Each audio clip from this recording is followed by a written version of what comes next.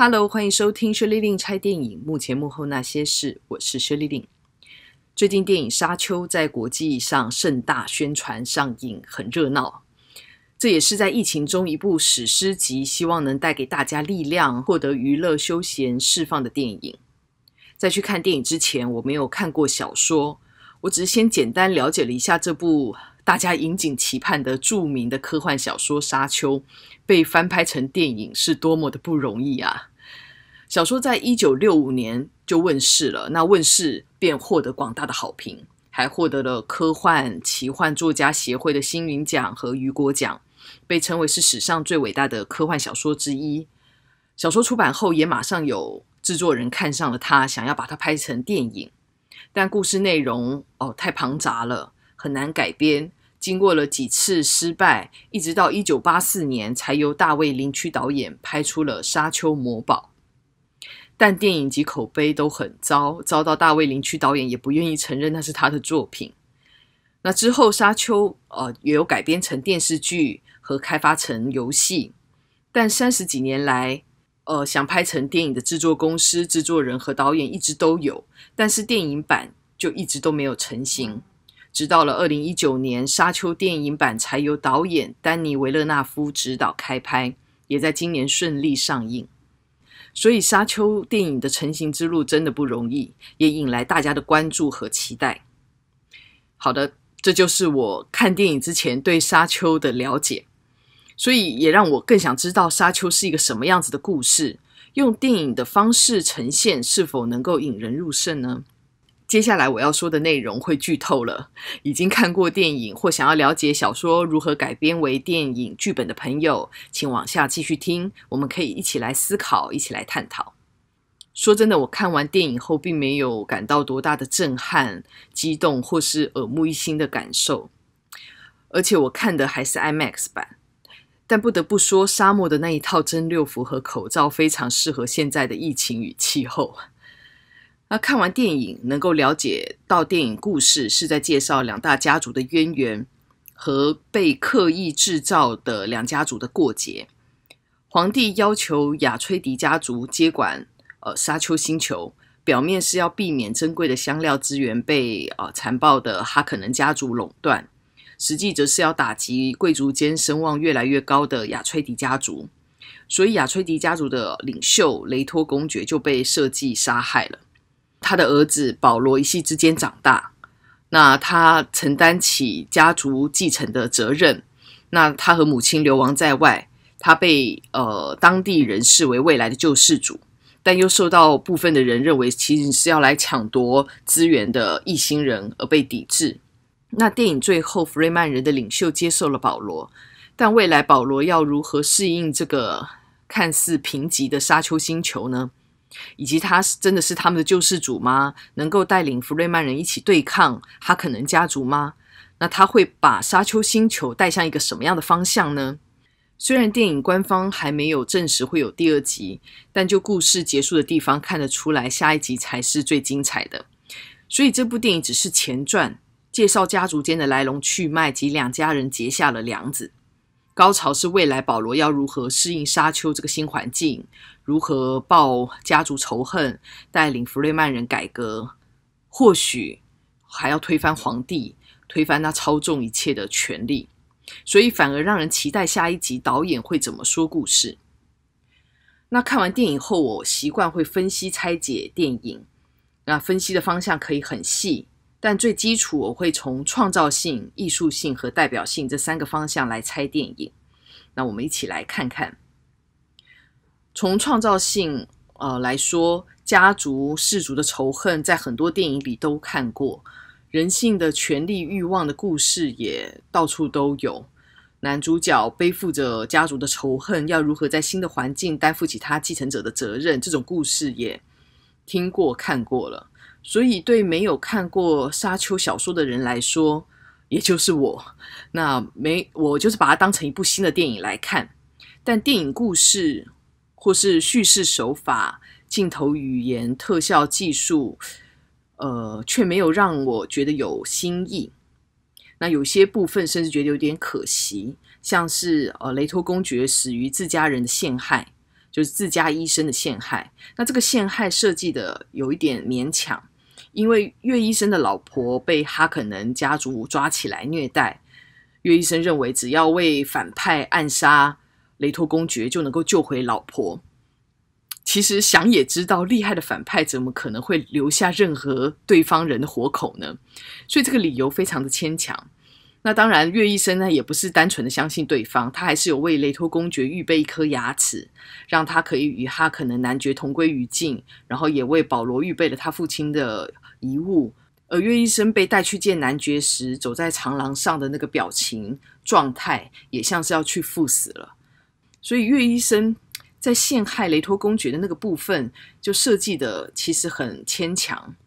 那再来，雷托公爵赤裸的躺在一张长桌旁，那长桌的另一头是哈可能男爵呼噜噜的在在在吃着不知道什么血肉模糊的东西。那当然，这是要凸显男爵的残暴。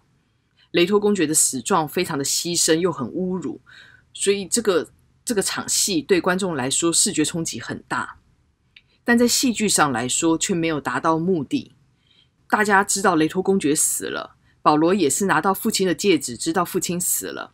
但岳医生的背叛与父亲屈辱的死状，若是让保罗知道，这个对保罗的打击会更大，戏剧冲击会更大。那他内心的良善、对人的信任与爱，和为父亲、为家族报仇的恨。会一直在心中纠结，一直交织在他迈向英雄的道路上。所以这段这段哈可能男爵直接对上亚崔迪家族首领的戏，是这部电影的高潮，也是促使保罗之后故事发展的动机。所以戏剧情节没有用到位，有点可惜。那再来看艺术性，视觉的设计有它的美感，不管是他们搭的飞行船，还是穿着，都偏简约冰冷。到沙丘星球后就是哦暖色调，那但 亚崔迪家族的简约冰冷风一直会让我与哈肯能家族的暗黑风搞混哦，因为太相似了。另外，巨大的飞行船的设计没有让人觉得眼睛一亮啊，可能也因为我已经被各个未来电影所设计的世界给味道胃口变大了，所以觉得飞行船的设计倒是还好。倒是蜻蜓的飞行船很有意思哦，它让人觉得未来的世界应该是更文明啊，移动的方式应该是更科技的。但事实是，未来的人类就是故事中未来的人类，其实是回到封建原始的状态。所以，这个像蜻蜓的飞行器，其实是那个时代最好的证明。那再来是沙丘一望无际的这个画面感很壮丽，就是给我的震撼还是很大。因为我也到过沙漠拍摄，知道那一望无际给人的那种开阔，但是却又无聊无助的感觉。但是我还是在艺术呈现上有一些呃觉得不解的是，人类经过了八千年，为什么没有外形上的进化呢？之后简单了解了一下故事，说是沙丘星球上的弗雷曼人其实皮肤是粗厚的，但是在电影里去掉了，可能也是因为呃美感。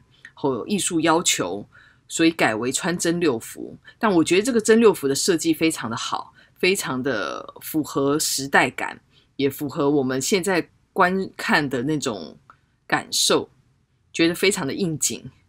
但其他的人种的外貌为什么没有过多的进化呢？是因为这样子的外表已经算是优良、最优良、最适合生存的吗？不知道哎。可能原著中也有说明吧，之后我也会去看小说了解。最后是代表性，这部电影具不具有代表性？在题材改编上、电影语言上、影像技术上、视觉风格上，算不算有代表性？或是作为一个时代发展的代表电影？那我觉得其实还不具有代表性。《沙丘》这部电影，它是科幻电影，没错。但他还不到带领科幻电影进入下一个发展的代表作，所以整体下来，我觉得电影四平八稳，与期待值有一些落差。所以，哎，我也纳闷了，为什么沙丘小说会得到这么多的赞誉？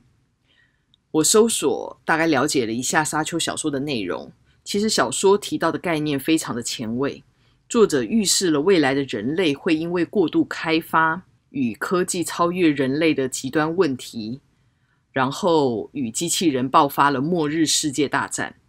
那在末日之战后存活下来的人类决定不再使用 AI 技术，要回到原始的生活。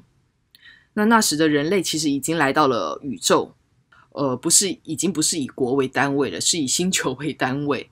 所以每个星球呢都有一个贵族掌管。那这个贵族又听从于最大的主宰者，也就是皇帝。所以人类是回到了有皇帝的封建帝国的制度。那因为要在宇宙中生存，所以进化出了三种人类。一个是负责用光速穿梭到不同星球的人，有点像是太空船的机师；那一个是可以用大脑去运算、计算东西的生化人，有点像是一个国家的军师一样。那另一个是会使用魔法超能力的女巫。那他们的目女巫的目的是要培育优良的人类，所以每个星球都有这三种人。而培养他们这些特别的人类，就需要一种特别的物质，就是香料。那香料主要是作为太空船的燃料，那用在人身上呢，就能使人变得金刚不败。那这个香料的出产地就是沙丘，所以很多人对沙丘虎视眈眈。但沙丘不好生存，而且又被黑暗的恶势力的家族把持住。那故事了解到这里，也就知道，其实香料隐喻的就是石油。那石油控制着各个国家的经济命脉，所以小说的故事很庞大、很庞杂，隐喻的很有深度。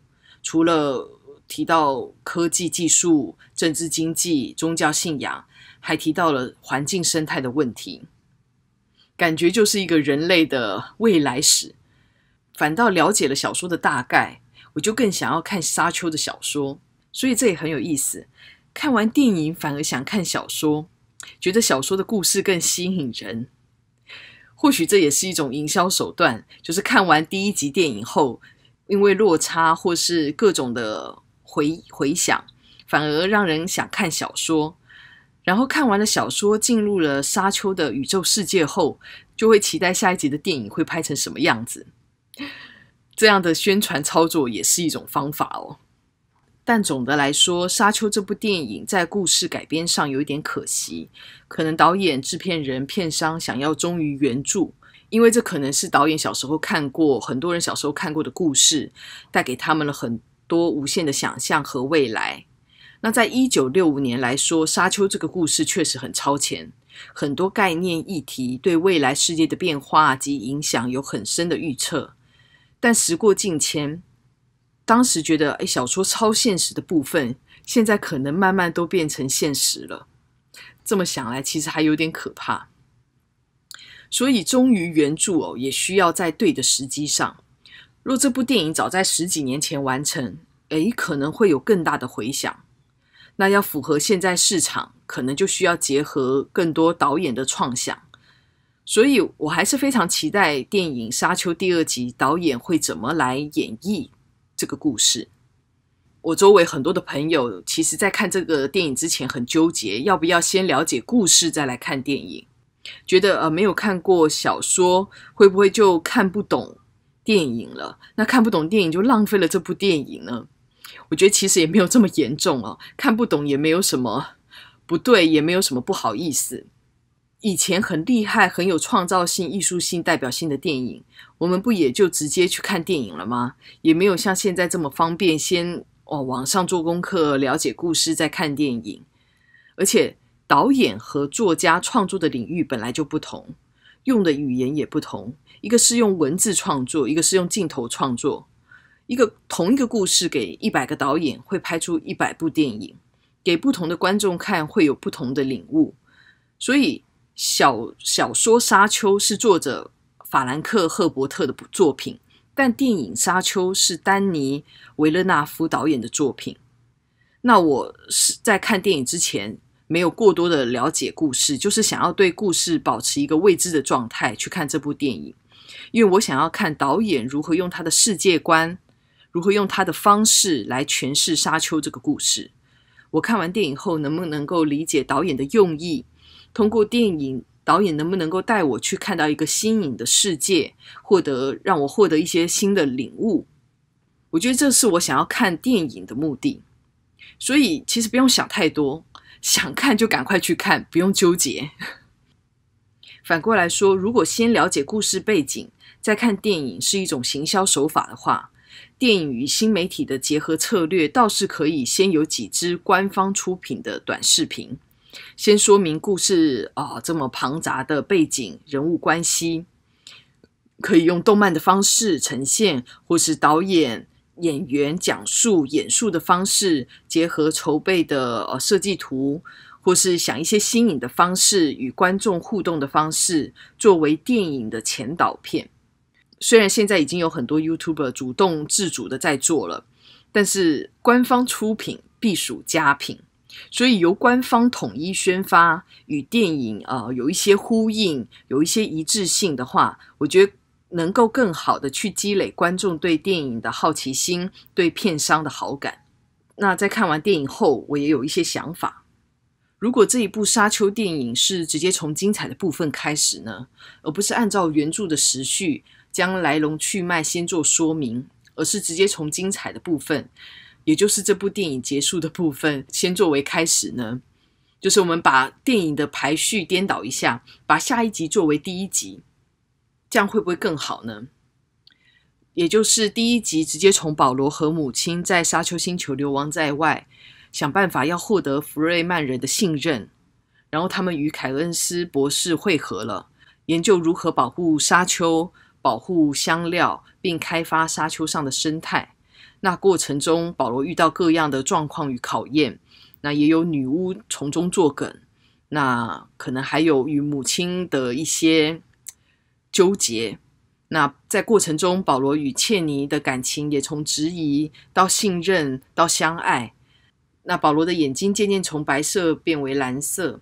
那他也越来越成熟，也慢慢熟悉沙丘的一切，能够自由在沙丘行动。最后，保罗领导弗瑞曼人战胜哈肯能家族。下一集再说回到前传，保罗为什么会走上这样的路？哦，原来保罗为父亲、为家族、为梦中的引领而来到了沙丘星球。那这一切其实都是皇帝挑起的争端。皇帝要削弱亚崔迪家族的势力，所以他暗地的协助哈肯能家族杀灭亚崔迪家族，也就是我们现在看到这一集的故事。那在下一集，也就是第三集，保罗就要对抗真正的大 boss 星际皇帝了。故事有很多种说法，这也只是我简单的一个设想。所以接下来我会去看《沙丘》这部小说，去感受作者的创造力和各个导演、制作人为什么钟情于《沙丘》。那《沙丘》的魅力到底在哪？小说要如何改编成电影？如果你是制作人、是导演，你会怎么安排呢？我觉得大家都可以从这些角度来思考看看。那以上是我看完《沙丘》后的观后感。有兴趣的朋友可以留言，我们一起来探讨。谢谢你收听《目前幕后那些事》。